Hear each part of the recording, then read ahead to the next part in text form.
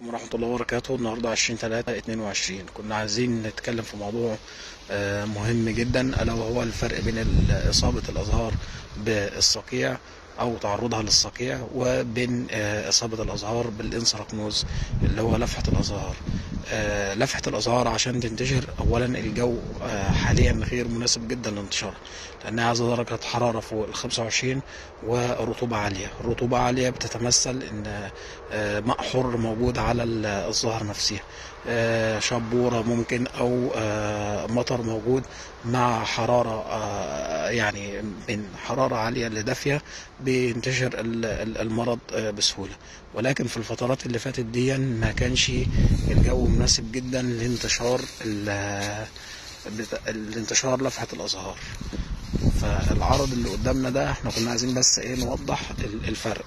العرض ده أنا كده اشوفه من بعيد خالص نقول لفحة أزهار. ولكن ده مش لفحة أزهار. دي كده الزهر ده اتعرض للصقيع. تمام. ودي شجرة آه، عويس. زي ما حضراتكم شايفين كده؟ كل ده مش لفحة أزهار دي عبارة عن إن الشجرة تعرضت للصقيع من حوالي أسبوع تمام.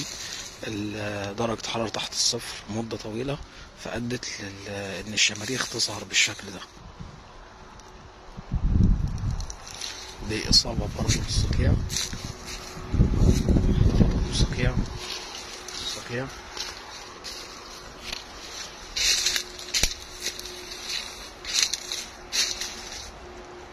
ولكن الجو غير مناسب خالص إن آه، الزهر الزهرة تتعرض للانسراكنوز أو لفحة الأزهار. لفحة الأزهار لسه عليها بدري. عشان بس نفرق والناس لأن الموضوع ده شا يعني شغال بقاله فترة إن دي لفحة ازهار دي مش لفحة ازهار لفحة الازهار لسه الجو مش مناسب ليها في وجه بحري حاليا. ولكن مظهر ويدل ان ده لفحة. لكن دي إصابة بالصقيع